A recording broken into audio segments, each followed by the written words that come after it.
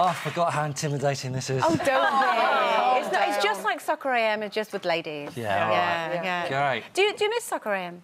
Uh, I kind of miss talking about football, but Yeah. no, I, I, you know, I'm doing Sunday brunch now, so Yeah. I enjoy doing Do you know it. you I can't are- work Saturdays and Sundays. You are appointment to view in our house. Oh, thank you very yeah, much. I watch you in bed. Oh, oh, really? I do. Yeah. yeah, you're great, by the Thank way. Thank you very much.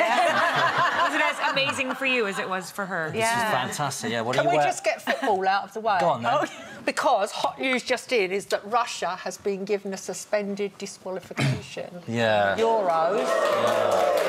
Now I sound like someone from your I know, community. it is very It's topical, a Janet. fact. Russia has been given this suspended disqualification. So do you think that England might go the same way?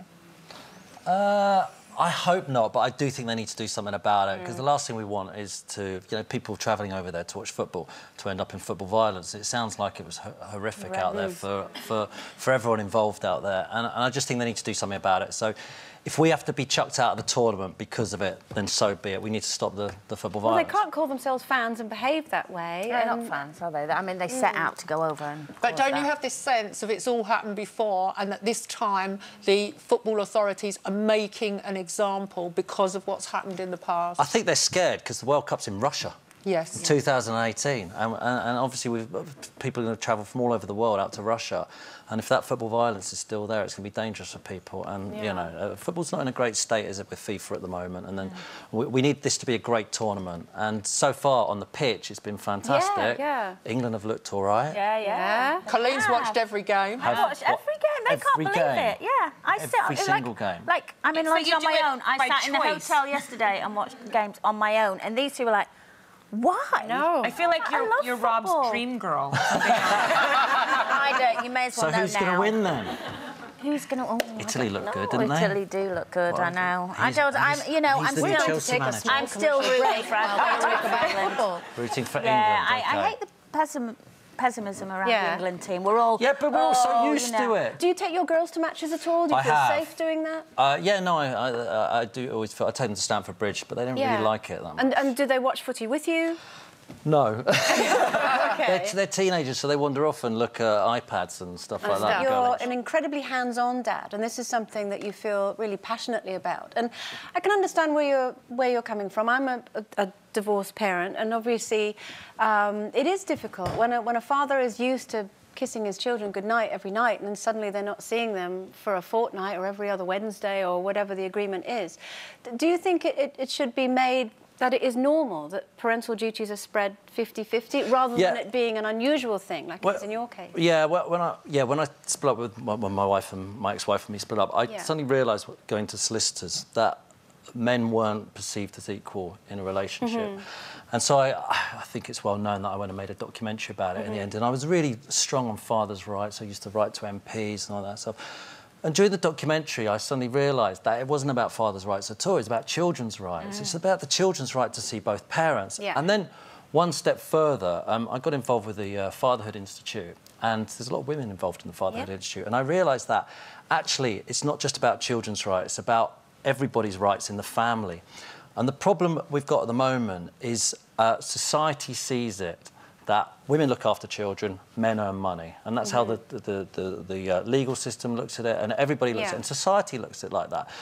What we need to do, and the Fatherhood Institute is very big on this, is we need to share the caring and share the earning. So that I've got three daughters, I don't want them to grow up and they get to the stage where they think, I want to have children. But if Yeah. I have children, I have to sacrifice my career. Yeah. And I know for a fact when women have children and they've got a career and they want to go back to work, they feel really guilty about it because Mm. society still looks at them and says, Do you know what? You're not allowed to have a career. So it's for men and for women and for Mm. Everyone. And I just think as a society, I mean, we can try and um, do as much legislation as possible, get laws and stuff, but it's a society we have to start I fully going. agree, yeah. Oh, and just quickly, we are behind the rest of the world in this. Well, not the rest of the world, but the developed world. Mm. Yeah. Scandinavia is just assumed that you know men and women are just going to join in, and this is whether you're split up or together in a family. Yeah. And and, and I just think you oh, know Oh, so right. So even over there, if you've split up, the father's still got the same rights as. it's not about rights; it's about expectations. I think Yeah. that, that this is where I Making think it it's a important. societal norm rather than. Yeah, so if, you, so if you are a parent, you know, I, I sort of I struggle with the words mother and father because it immediately means you earn, you look after kids. But if you are a parent and you're preventing another parent from seeing the child, then society should be looking at that parent and going, that's not really fair on that fair. child. Yeah. Absolutely. That And why child. do you think that we are behind here, you know, in comparison to these countries? I don't, that's a really good. Re- I, I don't know. That's a really good question. I don't have a good answer for that. Apart from every time I speak to anyone in the legal system, they keep on talking about. Talking in circles and Yeah, yeah. I just want to ask you quickly about the campaign you've got going about talking, uh, reading to children. It's Fathers Institute running this campaign. Yeah, Yeah. Um, about it's called Fred. Fathers read every day. You can look at it on their uh, on Yeah. their website. But it's an important thing about getting dads involved in Mm. in their in their children. This is whether you're separated or not, and, and a chance to every time you see your child to read to them. I mean, I think it's the best thing ever reading to my kids. Of course. kids. Oh, yeah. I love doing it last thing at night, and I, my, my daughter Jamie at the moment when she's with me, she comes in, she gives me a book first thing in the morning, and we. How old is she? She's three. We were reading the um, Animal Encyclopedia this morning. I used to find bed, bedtime reading, I'd be reading a one eye, you know, going like that. But, you know, I, I do know what you mean. And, do you know, regardless, again, you're using the word fathers reading every day. It's just parents reading every day, Yeah. isn't it? Yeah. Just It- getting yeah. It- involved. it is, getting yeah. involved. It is, and, and parents should look at their children and think they need both parents. There's plenty more where that came from. Just click here to watch more interviews with a whole range of famous faces. And click here to subscribe.